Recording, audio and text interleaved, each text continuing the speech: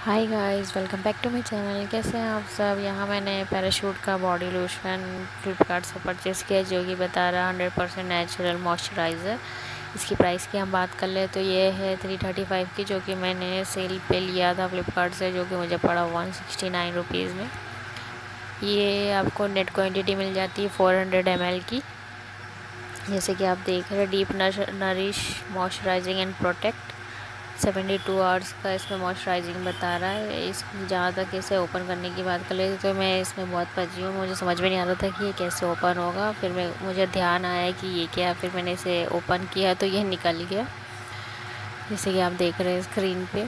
और ये अभी भी ओपन नहीं हुआ। ये बहुत ही सेफली इसे कंपनी वालों ने ऐसा बनाया है कि इसमें ना आप इसे कहीं पे भी, आप यूज़ भी कर रहे हैं तो आप कहीं पे भी ले जा सकते हैं और ये वेस्ट भी नहीं होगा।